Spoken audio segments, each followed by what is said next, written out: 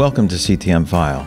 I'm Craig Jeffery, and this educational session will look at some of the statistics for gross domestic product across uh, regions, uh, areas, divisions, and countries, looking at the G7 and the G20. Understand the relative size of regions, uh, countries, uh, matters for how an organization looks to expand or change their, their trade behavior, their buying behavior.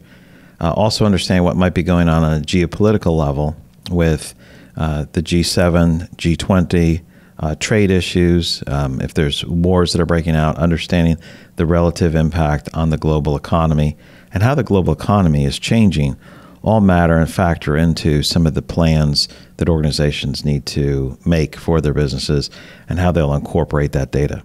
So let's get started.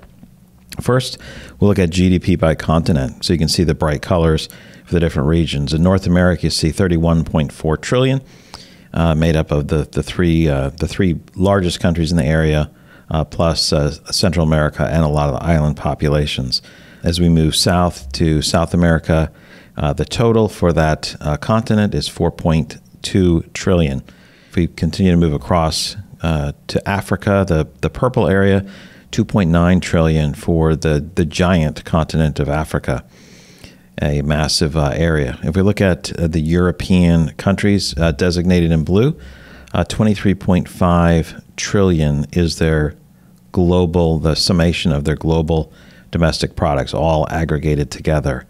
Um, and then Asia, made up of uh, some of the largest countries by population, including India and China, um, the largest land by land country, Russia, all of those together, this large area makes up just over $40 trillion. And then moving down to uh, Australia, New Zealand, uh, and a number of other island countries, you can see 2 trillion falls into that red area in the lower right hand side of your screen.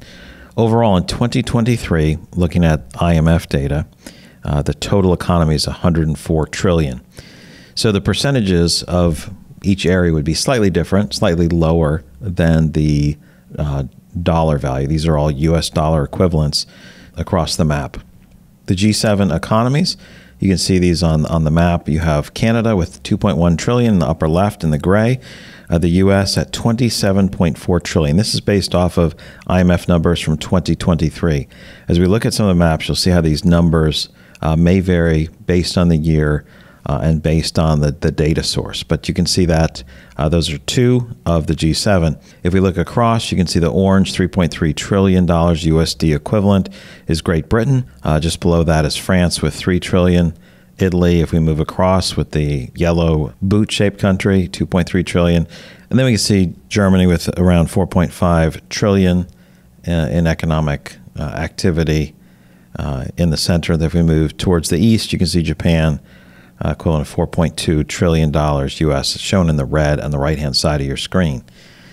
So that's uh, the total economy of the world is about 104 trillion at this time frame, and if you look at the G7 economies, it makes up 44.7 percent. So just under 45 percent of the GDP uh, comes from just these seven countries, uh, 46.8 trillion dollars.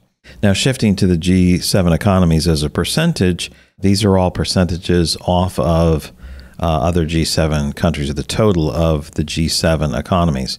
You can notice a couple things almost 10% for Germany at 9.5% in the purple, and 9% for Japan. Uh, the US makes up 58.5% of the G7 economies.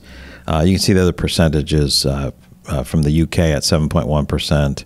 France 6.5, and Italy coming in at just under 5% of the G7. So the total GDP of the G7 economies 46.8 trillion in 2023 numbers.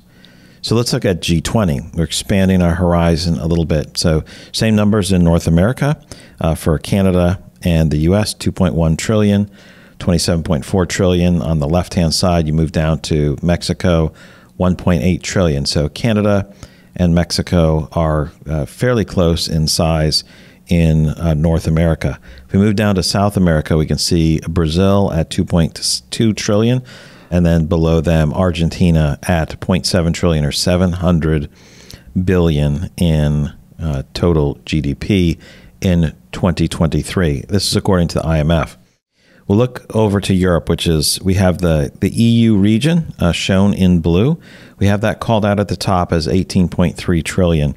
So those those countries in blue. Uh, don't double count them, but just look at the total at the top in black. The blues are highlighting some of the, the countries there. And then you can see based on this particular data, we're looking at 3.3 trillion for the UK, the green island there to the right of of Ireland. Uh, if we move across, you can see two two trillion for uh, Russia, and if we move down the lower left side, you can see Turkey um, at 1.1 trillion, straddling uh, Europe and Asia. Uh, and then as we continue to move around, you can see uh, countries like uh, China, 17.7 trillion, the second largest economy in the world and then 4.2 trillion Japan on the right hand side, and South Korea just to the left of that.